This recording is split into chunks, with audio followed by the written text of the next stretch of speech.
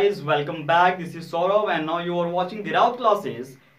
In today's class, we will be discussing about share types of share and shareholders, about share capital of the company. Though we did discuss about the incorporation incorporation of the company in the last video, in today's class we will be discussing about basically about the terms related with share. Though for your convenience, I have written here the definition of share.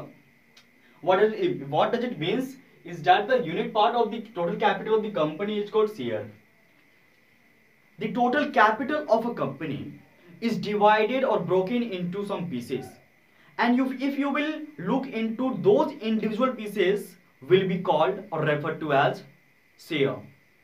The company, though for its own convenience, breaks its total capital into pieces and gives uh, or provides for the cost of each share and that, that particular share can be divided by can be used to divide the total capital of the company so as to obtain the total number of shares. Though I, for your convenience I have uh, ex explained here with one example that suppose a company has a total capital of rupees 5000 broken into pieces of rupees 2 each and find the total number of shares of the company. If you have been asked this question what would you have to do here is that the total number of shares equals to the total capital of the company divided by face value of one share. Here it is 5000 divided by 2 which gives us the value of 2500 is the total number of shares that a company does owns.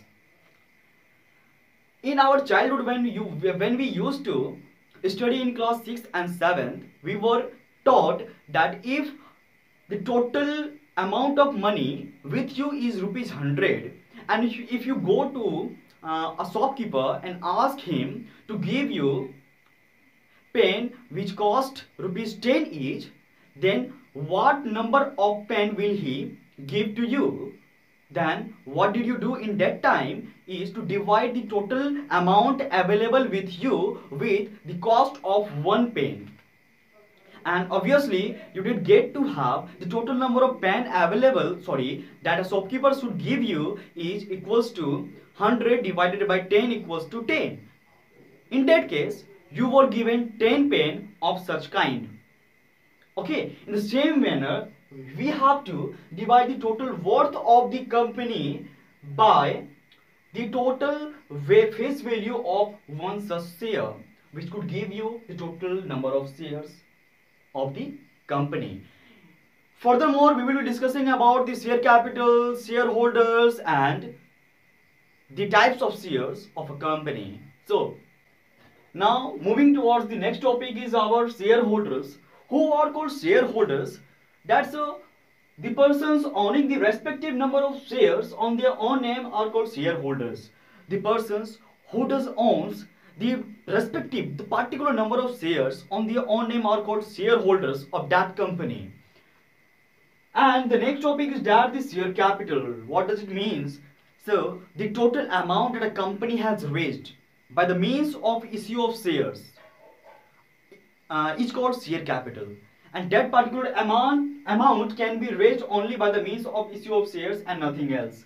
For instance, I have given here an example that suppose a company has a total capital of, of rupees 50,000 divided into rupees 5 each then the total nominal value of the share would be rupees 5 and the company would be said to have a share capital of worth rupees 50,000. Here this rupees 5 represents the value of one such share and the total worth, the total share capital of that company would be rupees 50,000.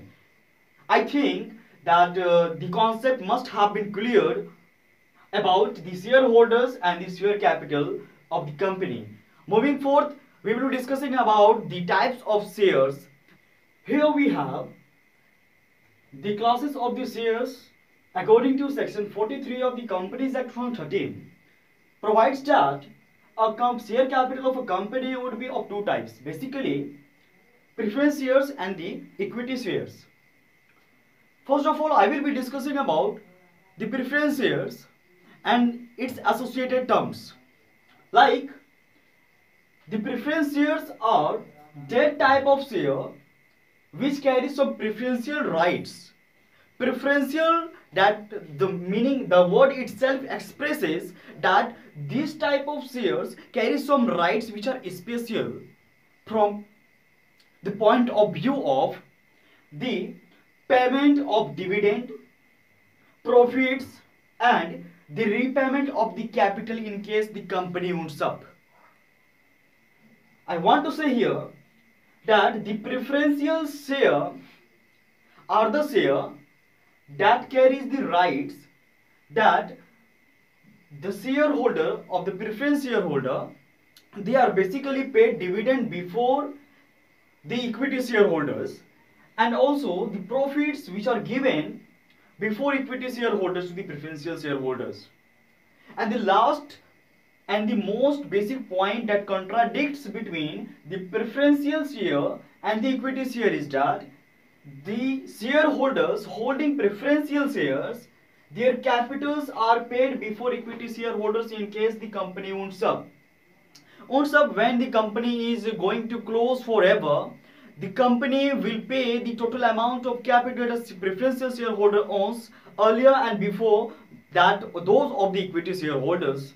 And uh, moving forth we will be discussing about the types of preference here so moving forth we have the types of preference shares according to Company Act 2013 that provides that the types of preference shares can be with reference to dividend where there are two types of uh, preference shares according uh, with reference to dividend dividend payment and it provides that the two types of preference share would be cumulative and non-cumulative shares preference shares where the cumulative preference shareholders will be given dividend and the non-cumulative preference share holder will never be given dividend out of the profit earned by the company.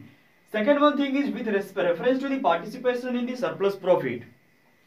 In this respect the, the preference shares can be divided into two parts and the first one category will be uh, participating in the profits or the surplus of the company whereas the other type of the preference shareholders that comes under the category of non-participating shares they are uh, not given the share in the surplus that a company does owns and the third uh, point of uh, uh the third respect of the preference here is that the point of redemption. Redemption means the repayment of the capital. From this point of view, the preference shares can be divided into two categories broadly and the first one category will be called redeemable shares and the second one will be called irredeemable preference shares. Redeemable shareholders will be given the capital at the time when the company owns up. But the shareholders holding the irredeemable preference shares will not be given uh, the capital of the company in case the company owns up.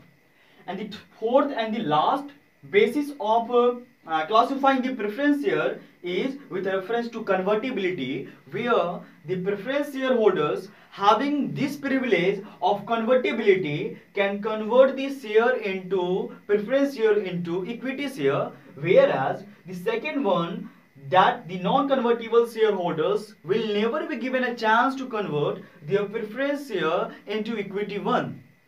So, I did discuss about preference shares. Now we'll be discussing about the equity shares. Moving forward, we are now in the position to describe about equity shares. The equity shares are those which are not actually preference shares. So what nonsense. Of course, a mango cannot be an apple.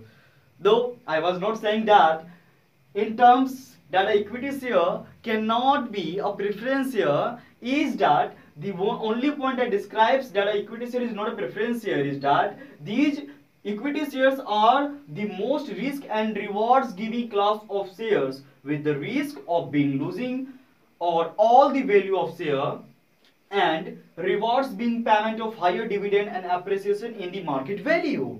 What does it mean?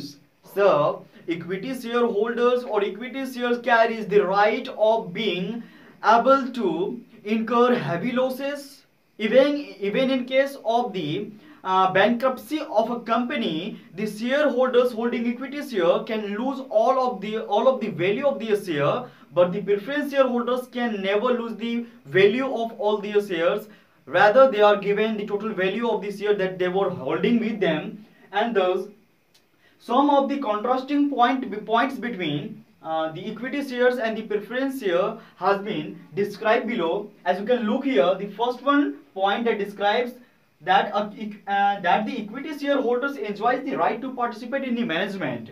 But though we discuss in case of preference share, I didn't discuss about actually it in case of preference share, but I'm now saying you that the equity shareholders enjoys the right to participate in the managerial activities. Rather uh, but the preferential shareholders they do not carry the right to participate in the management managerial activities. The second one property the second one pro contrasting point between preference share and the equity share is that the equity shares are the equity shareholders are repaid the capital after preference shareholders. In case the company moves up the preferential shareholders they are given the amount of they are redeemed the amount of capital before than that of the equity shareholders. And they have the equity shareholders have voting rights in all circumstances.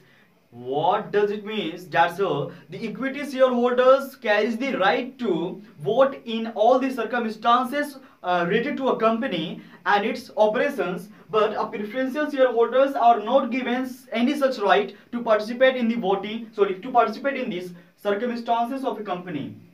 Dividend is sorry the eligible they are eligible for the interim dividend payment. The equity shareholders enjoys the interim dividend payment that in in this case the dividend in case when a company earns more profit and it anticipates that it could earn more profit than the earlier or the anticipated profit in that case the company uh, announces that the interim dividend. Between the year it can announce that some um, so more percentage or more part of the profit can be given as a dividend to the equity shareholders. But this right of receiving the interim dividend is lack is lacking in case of preference shareholders. Okay. Now the fifth one point that describes uh, the, about the equity share is that they are paid dividend after the preference shareholders. The regular payment of the dividend it is paid to the equity share shareholders. After that, after that the uh, the preferential shareholders are paid. Okay. So I did discuss today in today's class about the share shareholders share capital and the types of share that is preference share and the equity share i did describe about the contrasting points between the preference shares and the equity shares i hope you did enjoy this class and if you did like this video you can like it you can share it with your needy ones and you can subscribe my channel if you are a new viewer. Thanks for watching me